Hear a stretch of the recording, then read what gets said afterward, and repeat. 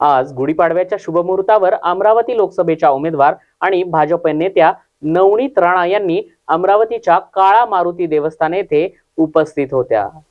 यावेळी भाजप नेत्यांच्या उपस्थितीमध्ये निवडणूक प्रचाराचा नारळ देखील फोडून नवनीत राणा यांची भव्य प्रचार रॅली यावेळी सुरुवात करण्यात आली.